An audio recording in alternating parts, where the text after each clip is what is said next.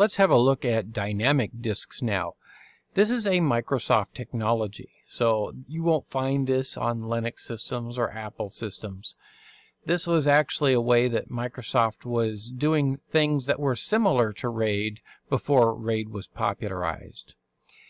In the case of dynamic disks, volumes can span multiple physical disks. Now you notice I used the term volume rather than the term partition.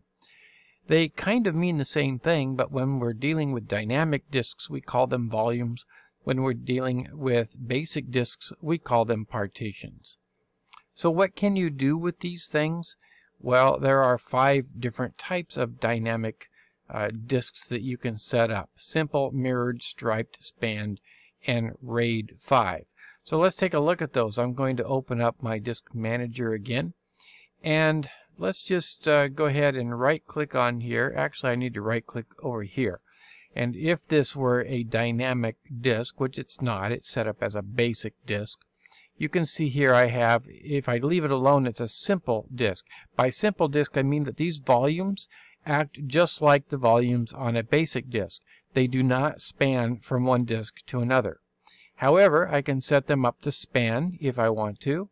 I can set them up to stripe if I want to. If striping is very similar to RAID 0, if I set them up to be mirrored, then they're like a RAID 1.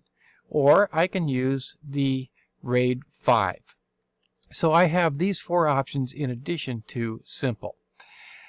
Now I can convert this, I'm not going to do it here, but I could convert this disk from a basic to a dynamic. You can see here when I right click I have the option to convert to dynamic disk.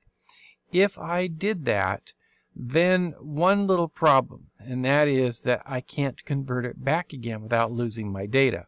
I can make it go from basic to dynamic without losing anything. But if I want to go back from dynamic back to basic, I will have to completely reformat this disk and I will lose all the information on it. As a matter of fact, you would get a warning if you tried to do that.